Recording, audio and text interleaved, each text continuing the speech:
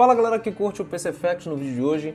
Nós vamos falar mais uma vez sobre a apresentação da AMD na CS 2017, falando sobre tudo da arquitetura Vega, mas hoje na parte 2 vamos nos focar em memória e cache.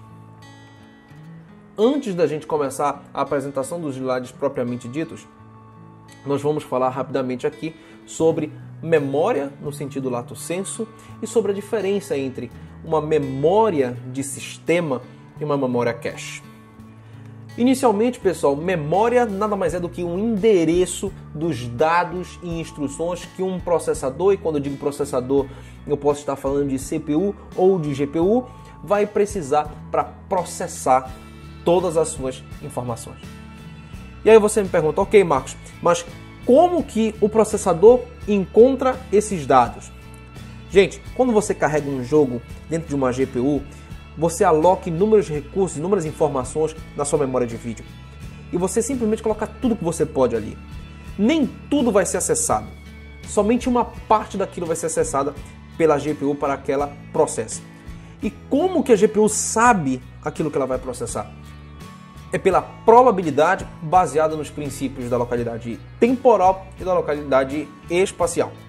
A localidade temporal diz que aquilo que foi acessado mais recentemente provavelmente será acessado novamente e repetidamente. Isso é verdade porque os programas de computadores usam muito de repetição. Então, muitos locais já acessados provavelmente serão reacessados no futuro. O princípio da localidade espacial já diz o seguinte: se você acabou de acessar um espaço A, é provável que o espaço B ao lado dele seja o próximo a ser acessado. Isso porque, além da repetição, os programas também são, de, são feitos de maneira sequencial. Então, dentro dessas probabilidades, o processador, quando eu digo processador, lembre-se que pode ser CPU ou GPU, dentro de sua memória, ele vai estabelecer uma hierarquia daquilo que tem mais probabilidade de ser acessado novamente, daquilo que tem menos probabilidade de ser acessado novamente. E diante dessa hierarquia, ele vai reposicioná-las dentro da sua hierarquia de capacidade de processamento. Saibam, registrador é o primeiro ponto de memória na hierarquia. Depois nós vemos o cache, e no cache L1, L2, L3. Depois nós vemos, se for uma GPU, uma memória dinâmica de vídeo. Se for uma CPU, já vai daí para memória dinâmica de sistema, DDR4. A de vídeo, GDDR5, GDDR5X e HBM, como a gente conhece hoje. Dito isso, a gente já entendeu como é que funciona a memória. Agora, e o cache? Qual a diferença de uma memória para o cache? A diferença básica é que a memória que a gente conhece, a DDR4, a memória de vídeo, elas são dinâmicas. E a memória cache, ela é estática. Mas o que isso acarreta? A memória dinâmica, ela é fácil de ser construída, ela consome pouca energia, ela consome pouco espaço e ela é relativamente barata. Por isso, ela é colocada num pente de 16 GB de memória, de 8 GB de memória. Ela é colocada como 8 GB de GDDR5X numa 1080, 4 GB numa HBM, numa Fury X. Então, as capacidades dessa memória são muito grandes e baratas. A memória estática, em compensação, já tem vários transistores e aí, efetivamente, se você for parar para pensar, ela acaba sendo uma memória muito maior, consome muito mais energia é muito mais cara e efetivamente consome muito espaço. E aí ela só vai ser utilizada em casos extremos como de caches, ok? Dito isso, a gente já pode começar agora, já que você tem um, um embasamento muito melhor, a gente já pode começar a dissecar rapidamente aqui a arquitetura Vega no sentido de memória e cache aprimorados. Vamos lá! Introduzindo a arquitetura de memória de GPU mais escalonável do mundo. A ideia da AMD é justamente permitir que a memória não seja um limitador para sua GPU. Vamos ver por quê e como. O primeiro detalhe que aparece aqui é o High Bandwidth Cache. Isso aqui é extremamente interessante, nós não temos muitas informações sobre isso. Mas só a terminologia utilizada para ele, High Bandwidth, é a mesma terminologia utilizada no padrão High Bandwidth Memory, que é o HBM famosíssimo.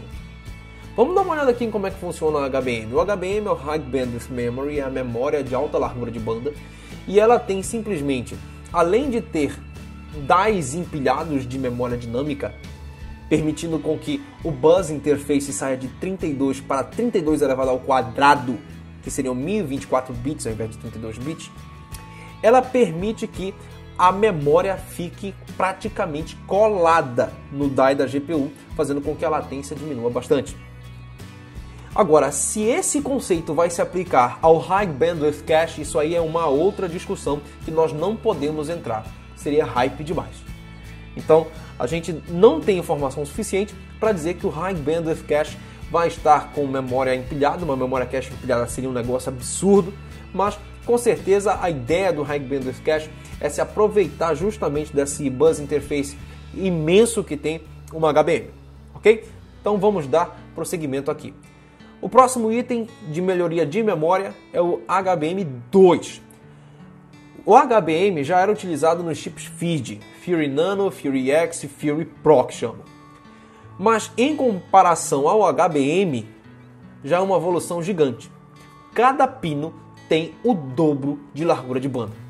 Então, se você pegar um chip como o da Fury X, que é muito parecido com esse, você vai ter o die e quatro pilhas. Na Fury X, que é HBM1, você tem 128 GB por segundo em cada pilha. Isso faz com que nós tenhamos 512 GB por segundo aqui, de largura de banda. Se for HBM2, vamos para 1 TB, 1024 GB por segundo de largura de banda, só pelo fato de ser HBM2. E não somente isso, você pode colocar 8 pilhas de memória ao invés de 4, em comparação ao HBM1. E em comparação ao GDDR5, numa pilhazinha desse, no espaço desse aqui, você tem 1 GB, enquanto que no espaço desse HBM você tem 8 GB. São 8 vezes a capacidade no mesmo espaço. E além disso, se você for pegar, por exemplo, a necessidade espacial de um chip com GDDR5, você tem aqui o DAI e as memórias espalhadas aqui. Olha a comparação dele com o espaço necessário para empilhar as memórias aqui em HBM. São 50% menos necessidade espacial. Seguindo aqui, nós temos agora o High Bandwidth Cache Controller. É o controlador do High Bandwidth Cache.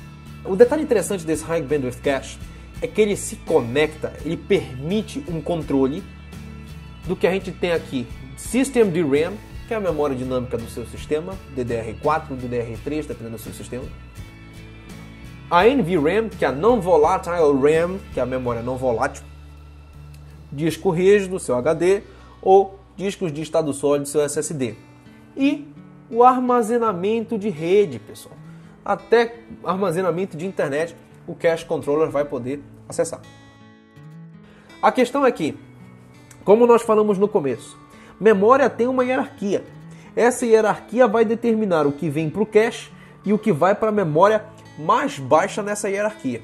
Por conta do High Bandwidth Cache Controller, você vai ter aqui inúmeras memórias e capacidades absurdas de endereçamento. Mas, claro, o que importa não é o endereço necessariamente, mas aquilo que está mais próximo da GPU para você efetivamente acessar. Não adianta você ter dentro do jogo 8 GB para estar tá alocada e você só acessar 1 GB.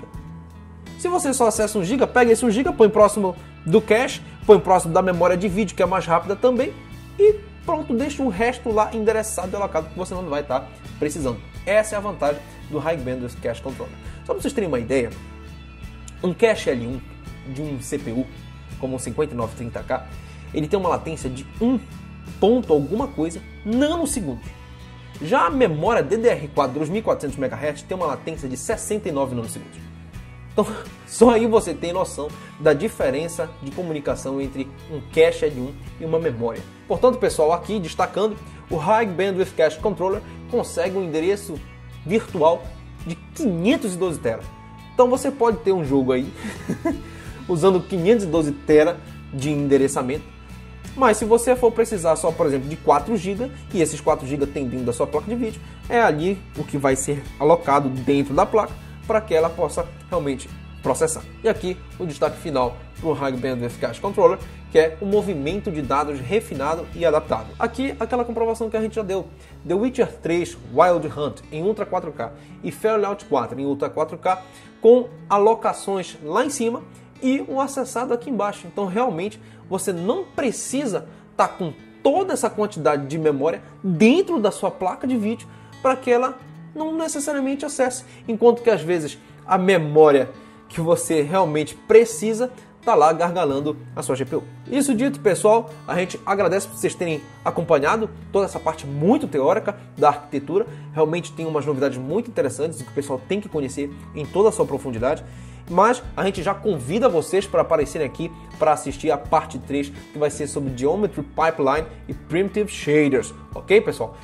No mais, a gente pede que vocês deem like nesse vídeo, compartilhem ele com a galera que está curiosa sobre as GPUs Vega e que é, entrem lá nos nossos grupos no Facebook e no Telegram e conversem um pouco mais com a gente e tirem mais dúvidas sobre a arquitetura Vega, ok, pessoal? Obrigado, até a próxima e um grande abraço.